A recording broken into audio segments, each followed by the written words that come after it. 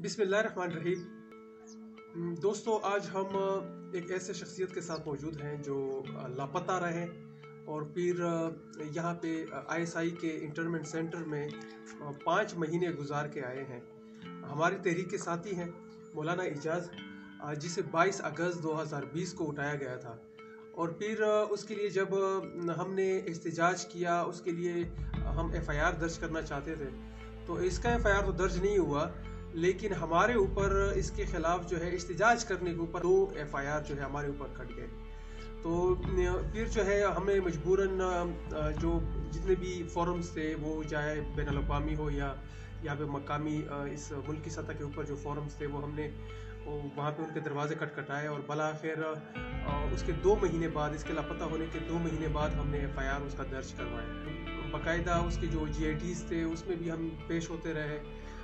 बल आखिर पाँच महीने बाद जो है, मौलाना एजाज को 10 जनवरी 2021 में रिहा कर दिया गया। उसको मौलाना एजाज को जो है, वो इंटरमेंट सेंटर में इसके साथ क्या होता रहा ये सब आप आप सबको जो है, वो सुनाएँगे। लेकिन इससे पहले मैं सिर्फ़ चंद चीज़ें जो है, ये जो कपड़ा मेरे साथ पड़ा हुआ है, ये ये इसी का फूल है।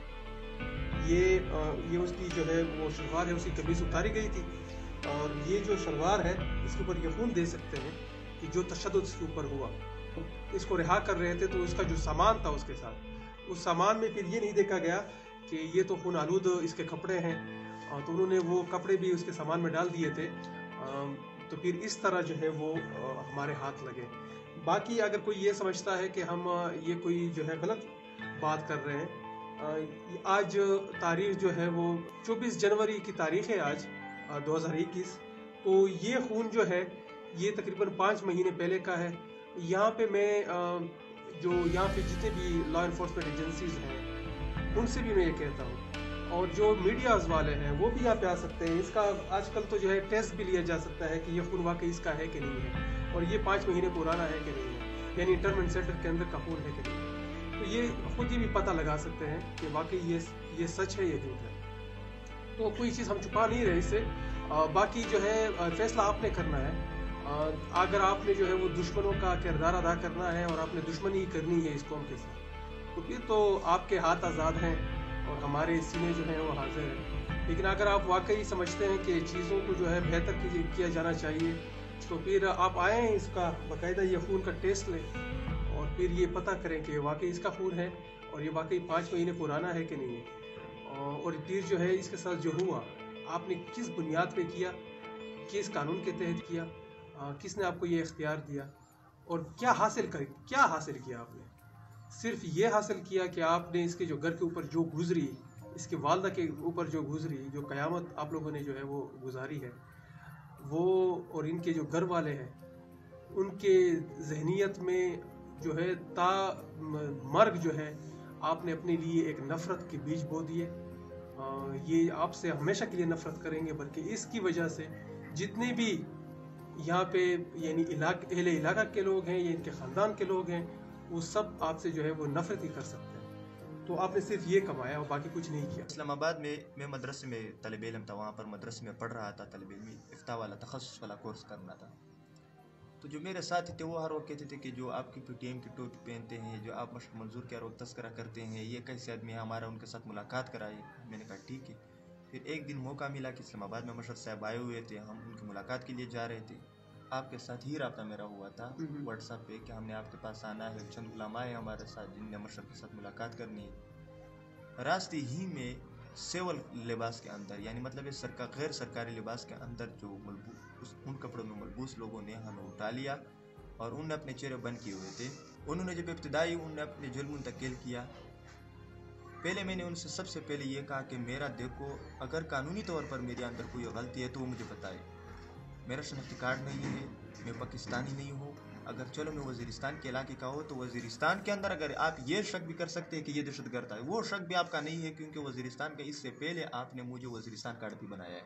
वतन कार्ड वतन कार्ड जो था वो भी उन्होंने बनाया है। मैंने कहा वो शक भी आपका नहीं है।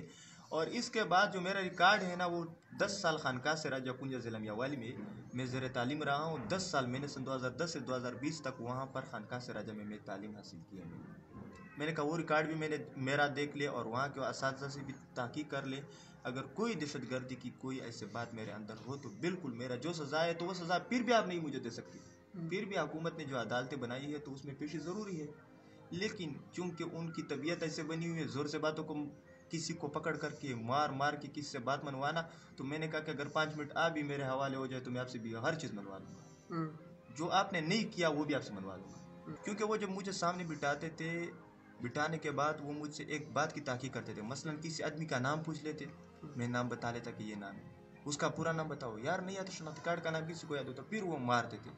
चलो वो बताने के बाद, चलो वो ना भी बता लिया, उसका घर बताओ। यार, घर मदरसों में जो लड़के एक दूसरे के साथ पढ़ते हैं या जिसके साथ फ़ोन पर रबता होते हैं, हर किसी के घर का, हर किसी की उम्र का भी किसी को पता नहीं होता और पूरे नाम का भी पता नहीं होता कि शनाख्ती कार्ड का क्या नाम है।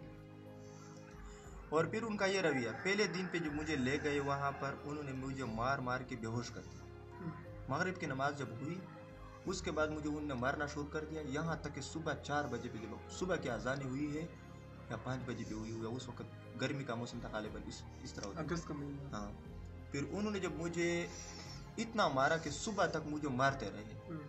और बेहोश जब मैं बेहोश था तो उसी हालत में मुझे इतना मारा था क्योंकि जब मैं बेहोश नहीं हुआ था उससे पहले मुझ पर इतना ज़्यादा खून नहीं थे जब मैं होश में आया तो फिर उसके बाद मैंने देखा तो खून और भी ज़्यादा थे इसका मतलब ये है कि मैं बेहोशी के अंदर भी उन्होंने मुझे मारा है फिर ये मार उनका एक दिन नहीं रहा ये मुसलसल उनका ये कम अज़ कम ये टार्चर जो इनका जो था वो पचास से ज़्यादा मरतबा मुझे हुआ और ये 150 दिन जो मैंने उनके साथ गुजारे हैं उन 150 दिनों के अंदर मुझे उन्होंने 150 मरतबा इंसानी तौर पर तशद मुझ पर किया। जिसमानी तौर पर तो 50 मरतबा कितना किया होगा लेकिन जहनी तशद मुझे 150 मरतबा हुआ है थे 150 जितना दिन गुजारे इतना। क्योंकि जब मैं रात को सोता था मेरा मामूल होता था रात के बाद बैठ करके कोई तलावत करता छः घंटे की फिर जब मुझे नींद आती तो फिर वो कहता था चल इसको पानी पिलाओ और फिर वाह कर ले ताकि आपके पाँव ख़राब ना हो जाए। मार के ज़रिए से पाँव ख़राब नहीं होते ये मेरा जो दाया पाँव है ना ये मार पीट की वजह से मेरा पंद्रह बीस दिन तक ये मुसलसल काम छोड़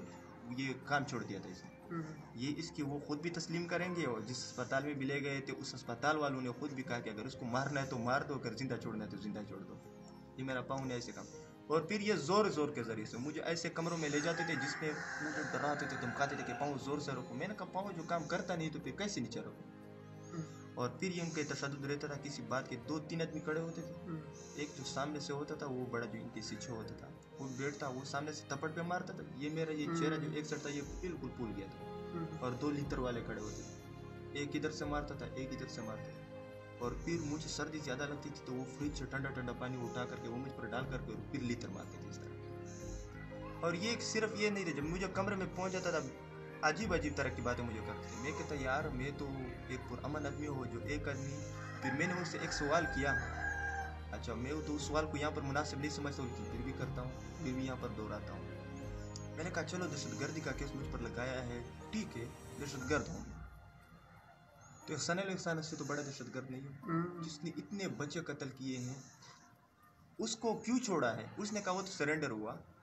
मैंने कहा अच्छा चलो वो सरेंडर हुआ। तो एक सरेंडर के ज़रिए से इतना माओ बाओ बापों का तुम खुद बाप माँ बन गए कि हम्म। तुमने उनके उनके बच्चों का खून तुमने माफ़ कर दिया। हम्म। अगर उनको तुमने माफ़ कर दिया तो मैंने तो अभी तक कुछ किया नहीं है। और पुरअमन यहाँ पर इस्लामाबाद में दहशत गर्द नहीं रहती सफ़ेद लिबास के अंदर और इस तरह पुर अमन टोपी पहन करके ये कोई दहशतगर्द इस तरह काम नहीं करती। और खुद मेरे फेसबुक भी इस पर गवाह है कि मैंने दहशतगर्दों के खिलाफ पुष्टि की थी इस पर। ये दहशतगर्द हमारे इलाके में लोगों को जबा करते हैं, हमारे इलाके में इस तरह जुल्म हुआ है। लेकिन वो चूँकि फिर भी वो मुझे कहते थे वो कमरे में ले जाते थे, वो जो उनके टार्चर का कमरा उसमें मुझे कहते थे कि एक मरतबा सिर्फ़ कह दो कि मैं दहशतगर्द हूँ, बस। मैं फिर इनसे पूछता था कि मेरे बारे में पीटीएम वाले कुछ कहते वो कहते नहीं पीटीएम वाले तो कहते हैं हम इससे बरी हैं हम इसके बारे में कुछ नहीं कहते। लेकिन तारीख तलेबा ने आज बयान दिया है कि हमारा बड़ा कमांडर इस्लामाबाद में पकड़ा गया और इसने बहुत बहुत कारनामे करने थे लेकिन अफसोस ये है कि वो पकड़ा गया। मैंने कहा यार ये तो अजीब लोग हैं जिनने बयान किया। फिर कहते थे कि आपको हमने अफगान बॉर्डर पर आपकी आवाज़ आई है हमने उसको ट्रेस किया है। और फिर जब वो बयान वो कहते थे कि तू तुम क्या अफ़गानिस्तान में थे फिदाई हमले वाले पर हाथ डाले थे? फिर मैं कहता कि इन पर हज़ार मरतबा लाना हम्म। जब ये बात कहता मैंने कहा ये बात तो आपको बहुत तकलीफ़ देगी लेकिन मैं फिर भी आपके सामने कहता हूँ क्योंकि मैं आपके हाथों में वो बांधा हुआ हूँ लेकिन आपकी बात को मैं फिर भी तस्लीम करने वाला हूँ। उन्होंने कहा कि आपके मोबाइल मैंने कहा अगर मोबाइल के ज़रिए से आप ये कहे कि किसी की वजह से मैसेज आई हुई ठीक है मैसेज आया होगा लेकिन मैसेज की मैंने उनको माकूल वजह बयान की। हम्म, मसलन मेरा आपका आपका बेटा है मेरे साथ मदरसे में है मदरसे में वो मेरे जेरे वो मेरे मामूर होते थे। अगर उनका बाप तालिबान में है उसने एक मैसेज किया कि मेरा बेटा है ये कैसे पढ़ता है या नहीं पढ़ता मुझे क्या पता है कि उनका बाप दहशत गर्द है? हम्म, तो इसकी वजह से तो मुझे मैं नहीं पकड़ा सका अगर मैं दहशत गर्द भी हो तो फिर भी एक अदालत बना हुआ है तो अदालत में मुझे पेश करते फिर आखिरी दिन जो मुझे रिहा करते थे उन्होंने कहा कि आपको आप बाहर जब निकले तो खामोशी के साथ निकले। यही हम आपको अदालत में पेश करेंगे पुलिस का मुकदमा होगा। मैंने कहा अदालत में मुझे पेश कर दो। हम्म, अगर अदालत में मुझे पेश किया तो सबसे पहले तो मैं उस काजी से उस अदालत वाले से ये कहूँगा कि जो पाँच महीने में गायब रहा सबसे पहले मेरी उस कहानी को सुन लो फिर उसके बाद मुझसे ये सवाल कर हम्म, कि आप दहशत गर्द है या नहीं है। लेकिन चूँकि उन्होंने ये सोचा कि आप बहुत अच्छे आदमी हैं फुला है फुला है मैंने कहा ठीक है मैं बहुत अच्छा आदमी हूँ लेकिन सबसे पहले जो मैंने उसको कहा कि लेकिन ये तस्लीम नहीं किया। वो मुझसे पूछते थे कि मशर मंजूर कैसे? पर हम्म। इनको फंडिंग कौन देता है? हम्म, और उनके फंडिंग वाला कौन है? हम्म, मैं कहता वो तो आपको अपना पता है। ये देखो मंसूर परसीन अभी इधर मौजूद है इस्लामाबाद ये के अंदर है। आप इसको खुद पकड़ लो इधर बिठाओगे कौन लेता है? लेकिन उन्होंने क्या कहा कि तुम जैसे कुत्ते उन्होंने रखा है। हमने कहा चलो हम तो सारे स्टूडेंट जो है मदरसे वाले और स्कूल ये तो कुत्ते हो गए। फिर अच्छे कौन है? हम्म। अच्छे वो अपने आप को समझते हैं में हम्म, जो जुल्म करते हैं ना जुल्म के ज़रिए से। नंबर वन तो इसलिए बना हुआ है कि जुल्म कर कर के अपने आप को नंबर वन बनाया है। वरना नंबर वन तो दूसरे नहीं ये नंबर वन नहीं है ऐसे झूठ है सब झूठ है है। नंबर वन जुल्म के ज़रिए से नंबर वन है तो नंबर वन तो मैं भी बन सकता हूँ अगर जुल्म के ज़रिए अगर कोई मुझे- हाथ में किसी को हवाले कर ले और पाँच पाँच मिनट के लिए मैं इस तरह सजा दे दूँ जिस तरह मुझे देते थे तो मैं इंशाल्लाह नंबर वन बन जाऊँ लेकिन इस तरह नंबर से अल्लाह ताला हमें बचाए और उनको भी हिदायत करे लेकिन हिदायत उनके नसीब में नहीं है लेकिन फिर भी हम इसके लिए दुआ गो है कि उनकी हिदायत करें बाकी ये कपड़ा उनने जो अपने मुझ से निकाला तो अपने मुंशियों को दिया कि ये कपड़ा बैर इनके लिए दो लो हमने कल इनको छुड़वाना है। पहले दिन कहा मुझे हम्म, ताकि फिर ये साफ़ साफ़ बातें निकाले। ये मैंने कहा ठीक है लेकिन मुंशी खुद हम्म। सुस्ती का शिकार होकर के उनने कपड़ा लपेट करके कागज़ में डाला था। आखिरी दिन पे मुझे जब दिया तो मेरे साथ तो अभी तो छोटा सा रुमाल है लेकिन पहले मेरे साथ बड़ा सा रुमाल था। उस पर मैंने छुपा ली।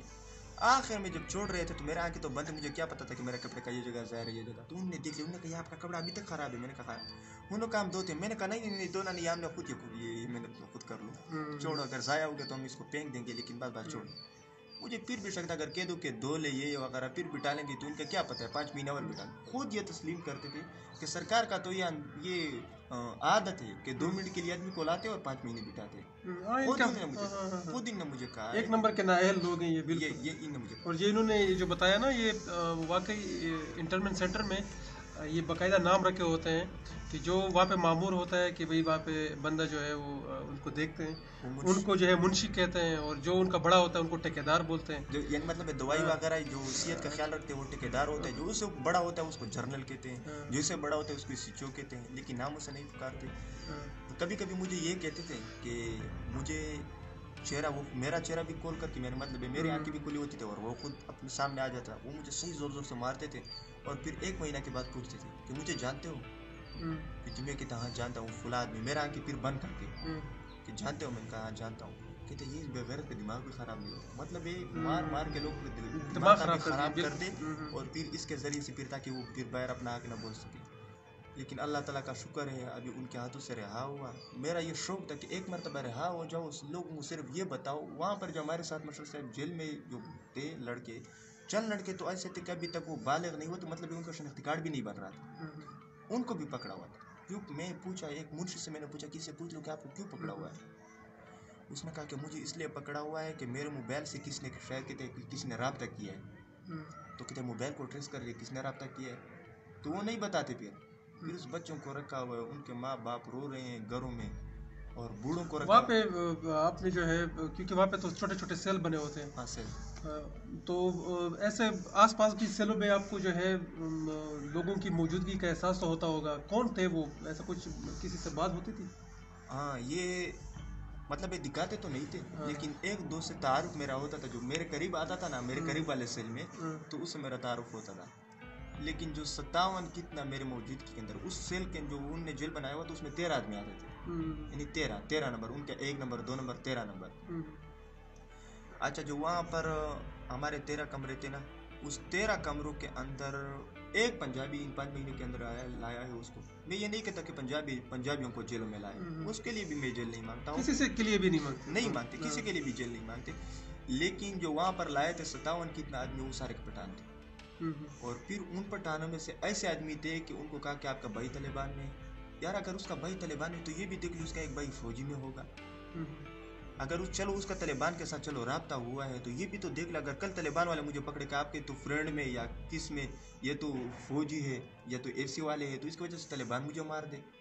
ये तो किसी दलील की बात नहीं है इस पर तो किसी को मेरे ख्याल में आपके अपने वालिद साहब भी तो एफसी से रिटायर। एफसी से रिटायर सूबेदार मेरे चचा भी एफसी से रिटायर सूबेदार मेरे दूसरा चचा भी एफसी से रिटायर सूबेदार है मेरा दादा भी खुद फौज से है लेकिन इनको ये कुर्बानी का बिल्कुल एहसास भी नहीं है। किधर एहसास हो क्योंकि इनको एहसास उस वक्त तक है जब अपना मकसद पूरा हो जाए बस।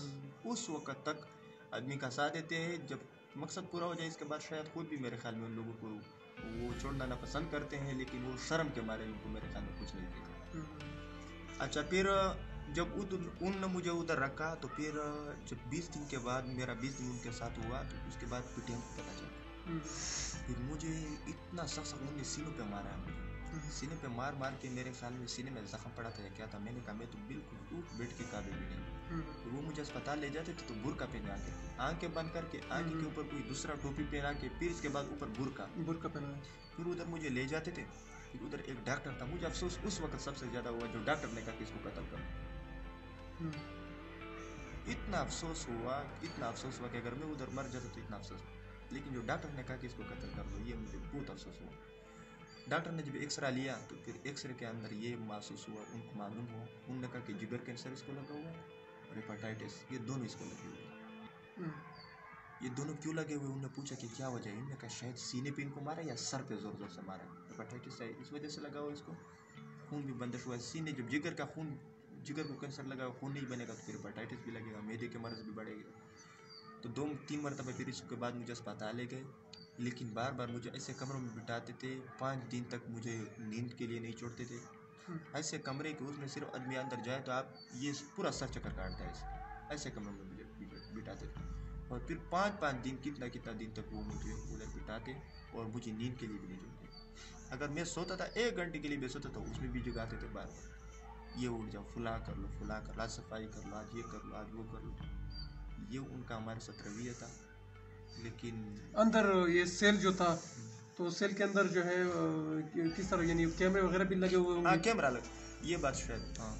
कैमरे लगे हुए थे यहाँ में जो खाना देते थे तो फिर ऊपर से कैमरे में देखते थे। तो देखते थे आज तो उसने खाना पूरा खाया हम्म, तो फिर वो फिर बाहर निकालते आज तो इसकी तबीयत ठीक है फिर वो मार देते फिर इस तबी इस वजह से फिर मैं खाना भी पूरा नहीं खाता वो मुझे बार बार कहता आप खाना क्यों नहीं खाते हम्म, हम्म। मैंने कहा बस मेरी तबीयत खराब है मुझे खाना आपको पता लग गया कि जे अगर यहाँ पे पूरा खाना खाओगे तो तो इसका मतलब है कि ये थोड़ा ठीक है। थोड़ा सा ठीक है फिर मार देते यानी किसी सूरत भी जो है आपकी यानी अच्छी हालत में वो मतलब पसंद नहीं है इंसानियत का रवैया इतना ज़रा भी। नहीं किया मेरे साथ। लेकिन अगर ये बातें मसलन ये इधर चंद लोगों ने मुझे कहा कि इन बातों को छुपाओ फुला फुला।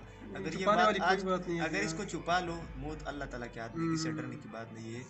ये कल मेरे दूसरे भाई को ये कहेगा कि छुपा लो। हम्म, अगर ये सब बैर आ जाए और सब इनके जहर कर ले तो फिर सब हम्म। मेरे ख्याल में कौन के सामने और भी बात आ जाएगी। एक बूढ़ा बाबा था जो चौकीदारी वहाँ पर करता था उसको भी वो उधर पकड़ा था। क्यों? कहते हैं कि शायद आपका तलेबान भाई तलेबान में था मोहम्मद से कहा यार नहीं है मेरा भाई तलेबान।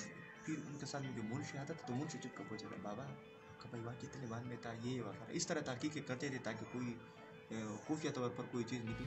मैंने कहा यार तुम मुझे इधर इस्लामाबाद में एक मोबाइल की वजह से एक पोस्ट की वजह से या किसी नंबर की वजह से या किसी अ, क्या कहते हैं एक वॉइस मैसेज की वजह से मुझे पकड़ते हो। आज आपको वजीरस्तान में जितना आपको ये दहशतगर्द असले के साथ निकाल हम्म, लेकिन इन बातों से तो इनको इतना अमन का नाम सुन कर के इनके पसीने निकलते हैं सर्दी के अंदर पसीने निकलते हैं। इनको अमन का नाम पसंद नहीं क्योंकि वजीरिस्तान और कबाइल जो फाटा के इलाके हैं ना ये इनके लिए एक डॉलर मंडी है। हम्म, ये यहाँ पर इनकी बहुत बड़ी मंडियाँ चलती है। हम्म। और ये जो मेरे सामने आई जो ये कपड़ा फिर निकालो एक उसे। ये कपड़ा जो आप देख रहे हैं ये आप ये समझ लेंगे कि शायद ये पाँच महीने के मार के अंदर सिर्फ़ इसको इतना मार लगी है। बल्कि इस पाँच महीने के मार के अंदर मुझे पचास मरतबा इस तरह मार लगी है। और ये मेरा एक जगह पे ले गए उनने मुझे इसलिए ले गए ताकि उसकी पीर क्या कर ले थोड़ा सा इसको पिटाई कर ले ताकि इसे कोई हम्म। बातें मनवा ले। हम्म, जब उन लोगों को मैंने अपने पाँव दिखा लिए वो मार मार की वजह से वो बिल्कुल काले हुए थे। उसने कहा यार इसको ले जाओ। अगर इसको और मार ले तो इसको क्या इसको कत्ल करना है? या क्या? वो खुद भी आखिर में शर्म के मारे ये तस्लीम करते थे कि बस इसको ना और फिर मुझसे कभी कभी माफ़ी भी मांगते थे। हम्म, मैंने क्योंकि जब इस तरह चीज़ पकड़े तो आदमी के दिल से बदुआ भी निकलती एक दिन मैंने कहा "या अल्लाह एक आदमी था वो बहुत ज़्यादा मार की वजह से मैंने किसी को न बदुआ दी है न न दिया है ना और न देता हूँ।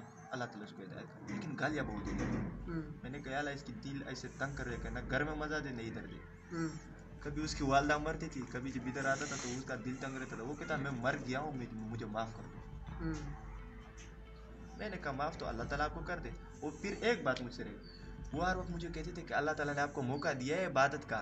कितना अच्छा मौका दिया है, पाँच महीने का मौका दिया। मैंने कहा अगर अल्लाह ताला हमारा वक्त आ जाए तो हम आपको पाँच साल का मौका देंगे इंशाल्लाह इबादत हम्म, ताकि आप सही इबादत कर लें बुज़ुर्ग बन जाए। हम्म। हम तो इंशाल्लाह पहले से बिला और पश्तून कौम को इस इस तरह इस तरीके से और इस तरह पर खामोश करना हम्म। ये तो मेरे ख्याल में इनके लिए बहुत ही मुश्किल नामुमकिन बात है नामुमकिन बात है। और ये अगर अभी अभी इनको खुद खुद तस्लीम कर लेंगे वरना अगर नहीं मानते मेरा नंबर उनके साथ है।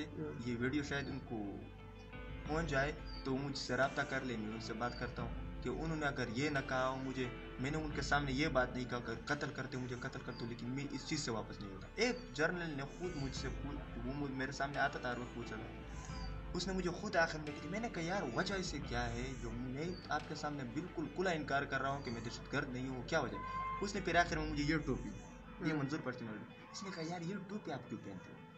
हम्म, सारी वजह ये थी। ये ये वजह थी। फिर आखिर दिन पे जो मुझे छोड़ रहे थे मैंने कहा वो टोपी भी मेरे वापस कर दो हम्म, वो टोपी भी मुझे वापस कर दी ये तो मैंने आपको शायद ये इनके मुख्तसर बातें सुनाए अगर ये इनकी पूरी तफसील सुनाओ तो शायद पाँच महीने लग जाए। हम्म, नहीं इतनी सही बात है वाकई और जो पता करना चाहे जो इदारा अगर इस मुल्क में कहीं पे इंसाफ है वो इनसे बात करना चाहे वो बात भी कर सकता है लेकिन जो है वो बातें सामने आएँगी। कोई चीज़ जो है छुपी नहीं रहेगी। अब आप चाहे कुछ भी कर लें आप जो है, अगर एक पीटीएम से जो है आपको ये खौफ लगता है कि भाई इसको हम ख़त्म करेंगे किसी सोर ये एक सियासी तहरीक है लोगों की और एक जैनवन तहरीक है।